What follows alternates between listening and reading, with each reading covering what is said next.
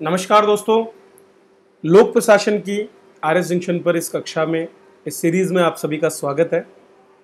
और लोक प्रशासन के पहले टॉपिक प्रशासन एवं प्रबंध, जो कि आपके आर एस मुख्य परीक्षा के पेपर तीन के यूनिट दो का हिस्सा है, उसका आज हम जो है दूसरे टॉपिक की शुरुआत करने जा रहे हैं। पहला टॉपिक प्रशासन का अर्थ, प्रकृति और महत्व, इस पर हम पहले चर्चा कर चुके हैं। और आज हम चर्चा करेंगे विकसित एवं विकासशील समाजों में लोक प्रशासन की जो भूमिका है उसके बारे में। तो ये टॉपिक हम कवर करने की कोशिश करेंगे दो कक्षाओं में। पहली कक्षा में मैं आपको इसके जो, इसका जो मूलभूत विषय है उस पर बात करूँगा और दूसरे में हम इनका तुलनात्मक अध्ययन करने वाले हैं। तो वैसे तो हमारे सिलेबस में ये टॉपिक इस नाम से दिया गया है, लेकिन दरअसल ऐसा कोई टॉपिक होता नहीं है। जब हम लोक प्रशासन पढ़ते हैं तो वहाँ पर इसे जिस टॉपिक के नाम से जाना जाता है वो है तुलनात्मक लोक प्रशासन। क्योंकि आप एक तरफ़ विकसित प्रशासन की बात कर रहे हो, विकसित समाज की बात कर रहे हो, विकसित देशों की बात कर रहे हो, और दूसरी ओर उन देशों की बात कर रहे हो जहाँ विकासशीलता की स्थिति है, जो अभी तक डेवलपिंग कंट्रीज़ हैं और जो धीरे धीरे विकसित होने की ओर बढ़ रहे हैं। तो दोनों में ही प्रशासन की जो स्थिति है, वो थोड़ी सी अलग अलग देखने को मिलती है, और उसी क्रम में हम जो है, यहाँ पर सबसे पहले तुलनात्मक लोक प्रशासन को समझने की कोशिश करेंगे। सामान्य स्थिति में आपको किसी भी कोचिंग में इस चीज़ को नहीं पढ़ाया जाएगा। वे सीधे आपको टॉपिक पर ले जाएँगे, लेकिन मैं ये इसलिए पढ़ा रहा हूँ क्योंकि कई बार जो है आरपीएससी ने पिछली परीक्षाओं में ऐसे प्रश्न भी पूछे हैं जो सिलेबस के इर्द गिर्द थे, लेकिन सीधे मेंशन नहीं किए हुए थे। तो अब हम बात करेंगे तुलनात्मक लोक प्रशासन के बारे में। हम लोक प्रशासन को समझ चुके हैं कि जनहित से जुड़े कार्य या सरकार से जुड़े जो कार्य हैं, उनमें किसी भी लक्ष्य या उद्देश्य की पूर्ति के लिए लोगों का जो समूह है, उसको निर्देशित करना क्रियान्वयन करना या फिर उनका संगठन करना ये सारी गतिविधियाँ लोक प्रशासन के अंतर्गत आती है। अब तुलनात्मक लोक प्रशासन में हमें इस शब्द को समझना पड़ेगा कि ये तुलनात्मक क्या है ठीक है? तो तुलनात्मक मतलब तुलना करना और तुल, तुल, जो तुला होता है उसका काम क्या होता है? वो करता है दोनों पक्षों की बात। उसके दो पक्ष होते हैं एक अगर एक में भी वज़न अधिक हो गया तो वो पक्ष नीचे हो जाता है और दूसरा पक्ष ऊपर हो जाता है। इस बात को हम जानते हैं। तो यहाँ पर भी हमको लोक प्रशासन के उन आयामों की बात करनी है, जहाँ पर हम लोक प्रशासन को दो से अधिक संदर्भों में पढ़ने की कोशिश करते हैं, जो दो अलग अलग स्थितियाँ होती है। जैसे कि हो सकता है ये दो देश हों तो हम दो देशों की बात करें कि पाकिस्तान और भारत के जो लोक प्रशासन है, उसमें क्या अंतर है?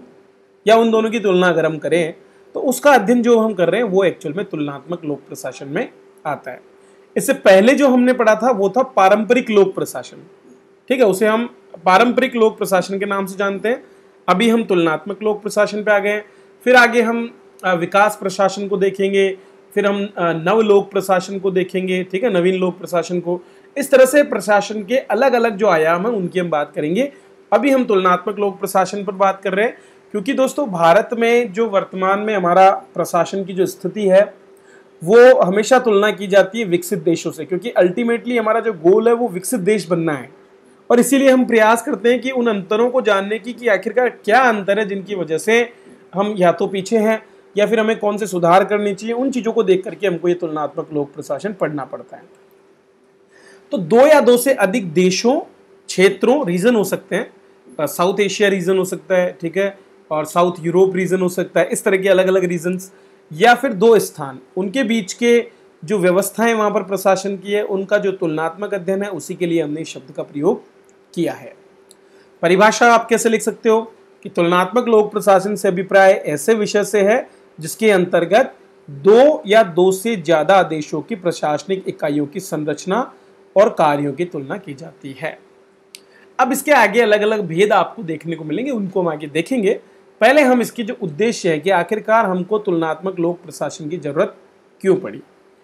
तो दोस्तों, प्रशासन की चर्चा करते समय जब हमने प्रशासन के सिद्धांत जब विकसित होने लगे तो अब हर एक देश में प्रशासन का अध्ययन हो रहा था।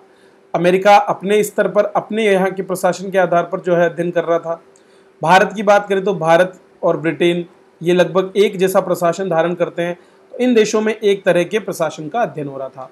लेकिन द्वितीय विश्व युद्ध के बाद में परिस्थितियाँ बदली और इन देशों के जब आपस में संपर्क होने लगा तो फिर इन्होंने अपनी अपने अध्ययन की प्रक्रियाओं को भी एक दूसरे से जोड़ा।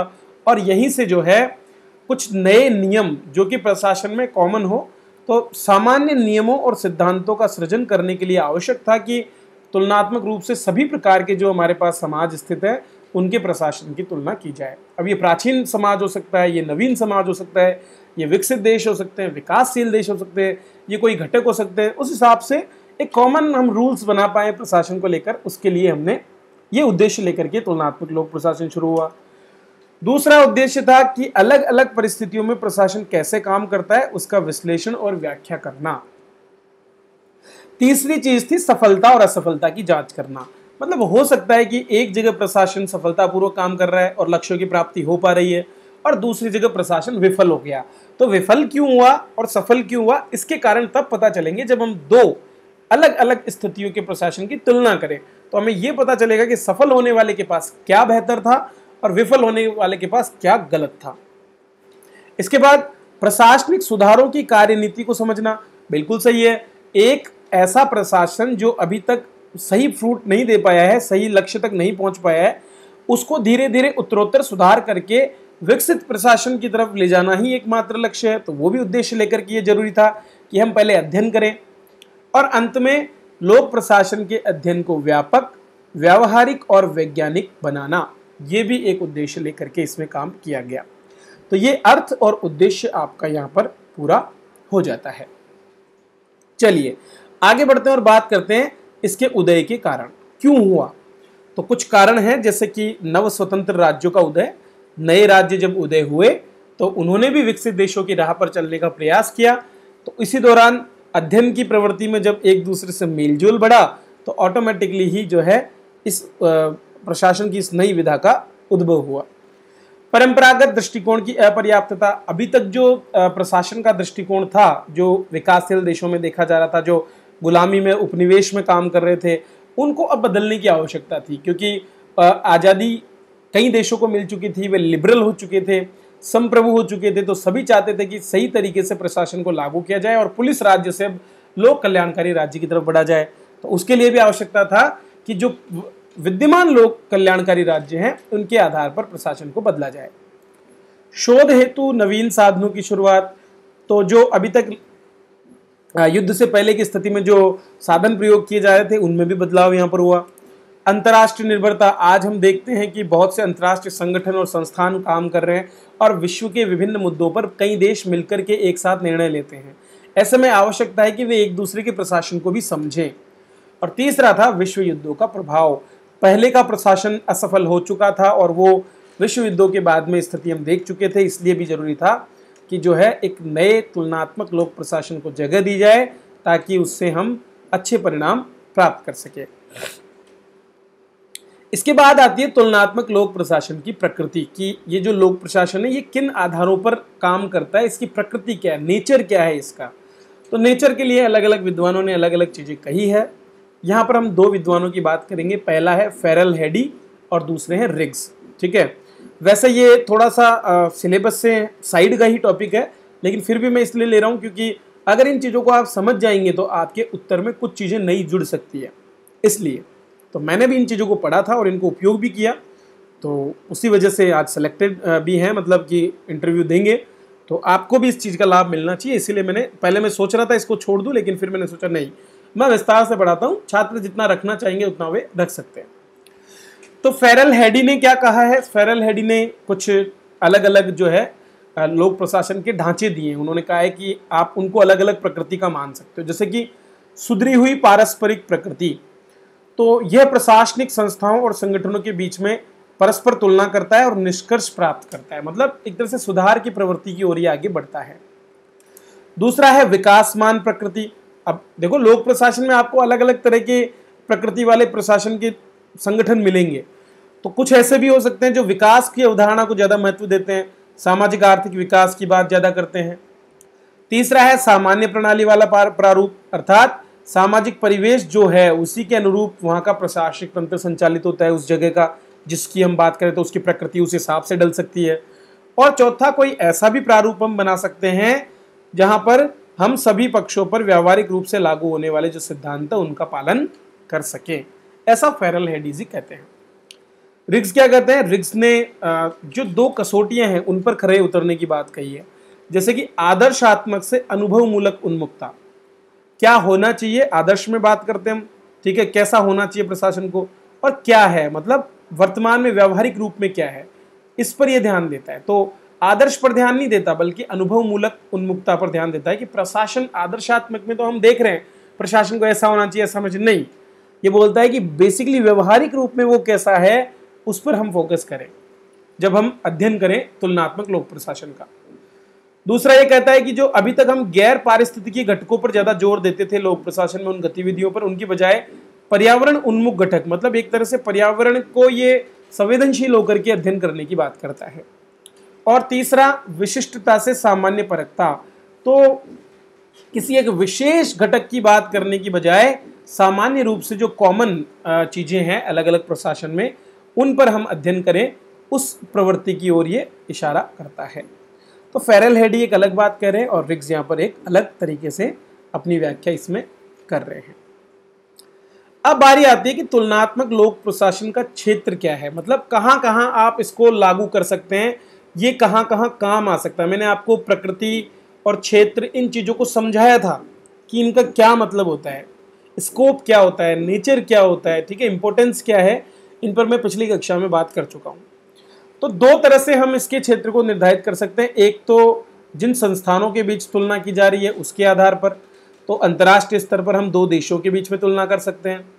राष्ट्रीय स्तर पर हम एक ही देश के राज्यों में, जैसे महाराष्ट्र और गुजरात के लोक प्रशासन की हम बात कर सकते हैं, ठीक है? अंतर सांस्कृतिक मतलब अलग अलग संस्कृतियाँ जो वर्तमान में अलग अलग देशों में है। कोई देश उदारवादी हो सकता है, कोई पूंजीवादी हो सकता है, कोई साम्यवादी हो सकता है। उनमें प्रशासन की क्या स्थिति है? उस तरह से तुलनात्मक अध्ययन करना।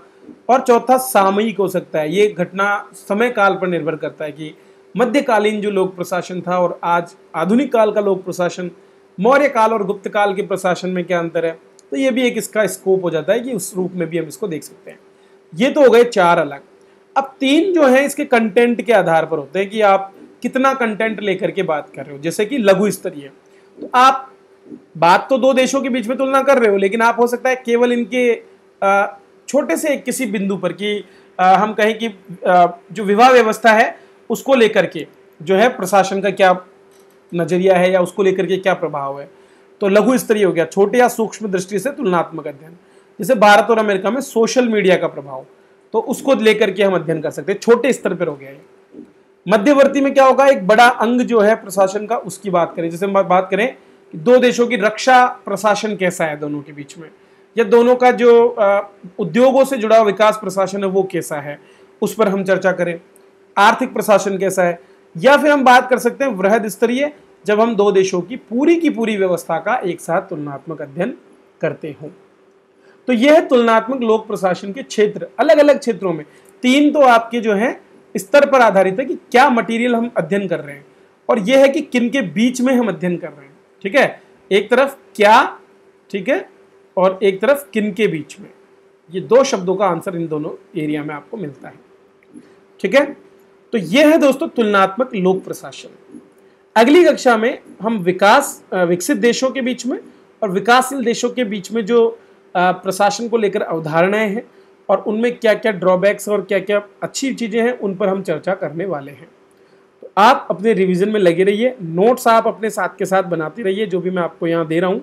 आप अपनी एक कॉपी रख सकते हैं, उसमें आप लिखना शुरू करें। जिस तरह से मैं बना रहा हूँ नोट्स आप वैसे बनाएँ, क्योंकि इस तरह से नोट्स बनाने पर हमको याद करने में बड़ी सहूलियत रहती है। आप अगर लाइन टू लाइन लिखेंगे तो वो आपके लिए बहुत ही एक अजीब सी स्थिति हो जाएगी। तो आप मैप्स बना करके साथ के साथ लिखें, ताकि आपकी आंसर राइटिंग में आपको कैसे उत्तर लिखना है, वो भी साथ का साथ तैयार होता रहे। अगर ऐसा आपने कर लिया तो डेफिनेटली आपका उत्तर बहुत बेहतर होगा औरों की तुलना में और आप अधिक अंक भी प्राप्त कर पाएँगे। चलिए तो दोस्तों, अगली क्लास में फिर से मिलेंगे। तब तक के लिए आप सभी का बहुत बहुत धन्यवाद।